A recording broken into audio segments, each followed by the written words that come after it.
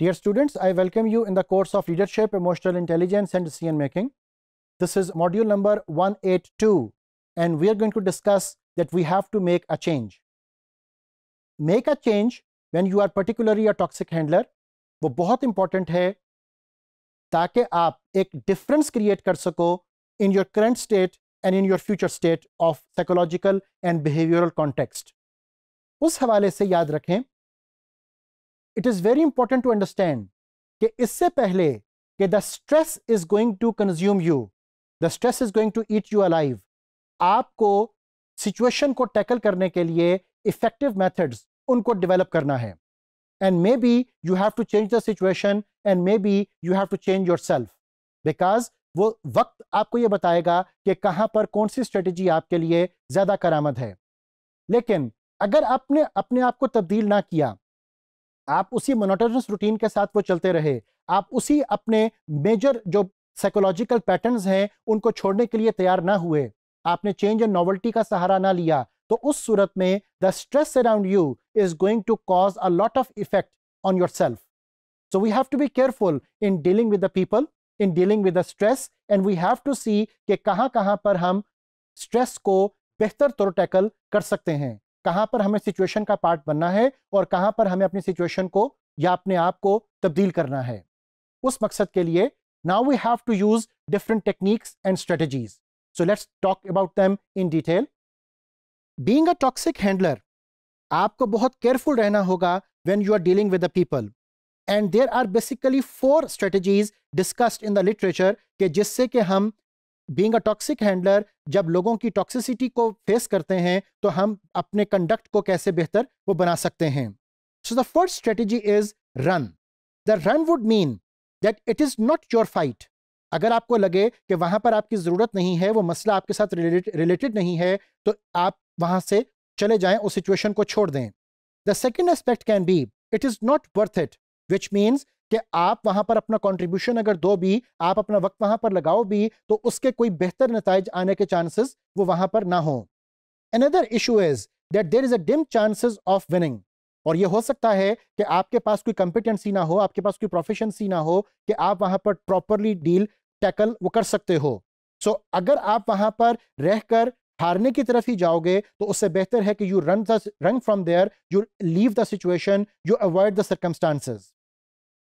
The second important strategy which your author talks about is change your attitude. अब change your attitude हम कब करेंगे It is said, you have preconceived notion. आपको पहले से इस बात का इदराक हो रहा था कि आपको किसी तब्दीली की वहाँ पर ज़रूरत है और you have had a previous bad experience आपको यह लगा कि आपका जो गुजश्ता माजी का रद्द अमल था, वो इतना अच्छा और पॉजिटिव नहीं था और आपको अब बेहतर तौर अपने आप को प्रेजेंट करना है तो it is better to change your attitude और if you have negative feelings अगर आपको यह लगे कि वहाँ पर आपका कंडक्ट वॉज़ नॉट पॉजिटिव और आपको तब्दील करना है अपने सोच के अंदाज को, आपको वहाँ पर क्रिएटिविटी इनोवेशन लेकर आनी है, आपको वहाँ पर पॉजिटिव अप्रोच और पॉजिटिव थिंकिंग लेकर आनी है तो ये तमाम वो मौके होंगे when you have to change your attitude then we talk about change their attitude कि दूसरे जो लोग हैं, जिनके साथ आपका ताल्लुक और मामला और वास्ता है, आप उनके एटीट्यूड को चेंज करने की कोशिश कब करो? बिंग अ टॉक्सिक हैंडलर उसके लिए इट इज़ सेड कि दे हैव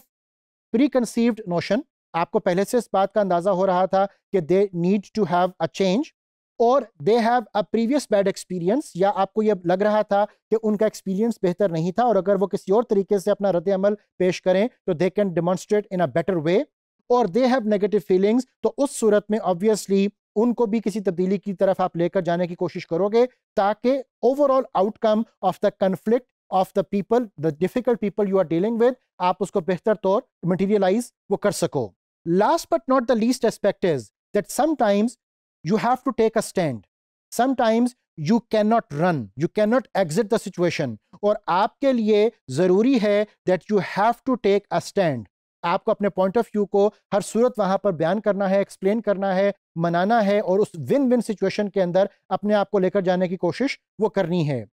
और Another issue can be कि no other viable option is there. आपके पास और कोई चारा नहीं है, सिवाय इसके कि यू टेक अ स्टैंड सिवाय इसके कि you come up with negotiation सिवाय इसके कि you come up with your bargaining so it is important कि आप इवेल्युएट कर सको कि कौन सी स्ट्रेटेजी किस सूरत हाल में आपके लिए अडॉप्ट करनी बेहतर होगी. एंड अनदर एस्पेक्ट इज़ कि there is hurt from status quo एक अरसे से एक सिचुएशन चल रही थी और उस सिचुएशन के अंदर कोई तब्दीली रूनुमा नहीं हो रही तो अब आपके लिए ये ज़रूरी है कि आप एक चेंज आप एक तब्दीली वहाँ पर लेकर आओ because that is the need of the time and need of the hour